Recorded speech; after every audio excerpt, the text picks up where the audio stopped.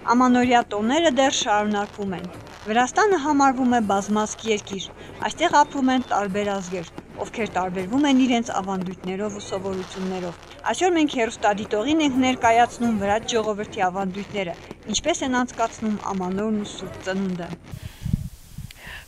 Ყველას გილოცავთ ახალ წელს და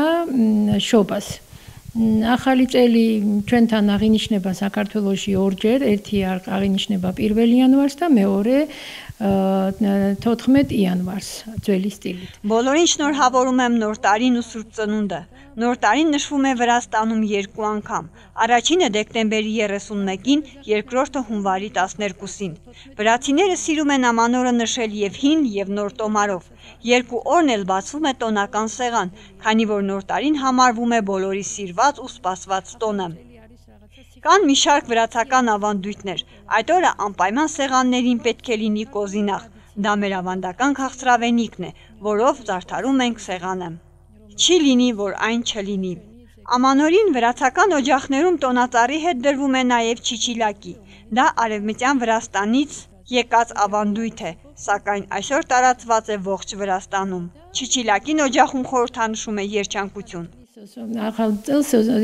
նադյուս խեստան երթად արիս չիչիլակի։ Բացի այս ամենից վրացիների մոտ շատ հետաքրքիր է նշվում նաև Սուրբ Ծնունդը։ Վրաց եկեղեցին հավատարիմ է իր կրոնական ավանդույթներին։ Რაც შეეხება შობას, შობას ჩვენ აღნიშნავთ 7 იანვარს. შობას პირველ რიგში ქრისტიანმა უნდა აუცილებლად უნდა Ամանորից հետո մենք նշում ենք նաև Սուրբ Ծնունդը։ Պատարակ է անցկացվում եկեղեցիներում։ Իսկ ժամը 12-ին պատուհանի գոգին դրվում է վառացմոմ, որն էլ նշանակում է, որ Քրիստոսը հյուր կգա այս օջախ։ Վրաստանում ամանորյա ավանդույթները սրանք են։ Իսկ ինչ վերաբերվում է հյուրասիրությանը, վրացական խոհանոցը բազմերանգ է։ Ամանորյա եւ Սուրբ Ծննդյան կերակուրների ցանկում է հացիվին տապակած գոճին, դե ունենք մեր ավանդական կերակուրները, խաչապուրի, խմորեղեններ, քաղցրավենիքներ եւ այլն։ Սակայն հացիվին տոլման եւ մսամթերքը կարելի է գտնել բոլորի սեղաններին։ Առաջին հյուրը, ով ժամանում է ընտանիք հունվարի 2-ին եւ 11-ին, պետք է լինի բարի մարդ, ու նրա ոտը հաջողություն կբերի ընտանիքին։ Իսկ եթե չար մարդ լինի առաջին հյուրը, տարին կանցնի անհաջողություններով։ Սուրբ Ծննդյան օրը երեխաները շրջում են տներով, որտեղ նրանց տալիս են քաղցրավենիքներ։ Այդ ամենը նրանք հավաքում տալիս են մանկատներին ու ծերանոցներին։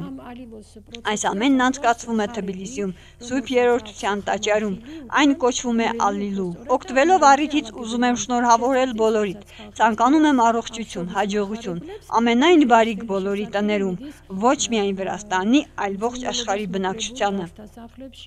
Շնորհավոր Ամանոր ու Սուրբ Ծնունդ Թող այս տարին խաղաղություն ու երջանկություն բերի բոլորին։ Այս տողերով իր խոսքը ավարտեց Մայրապետ Մարիան։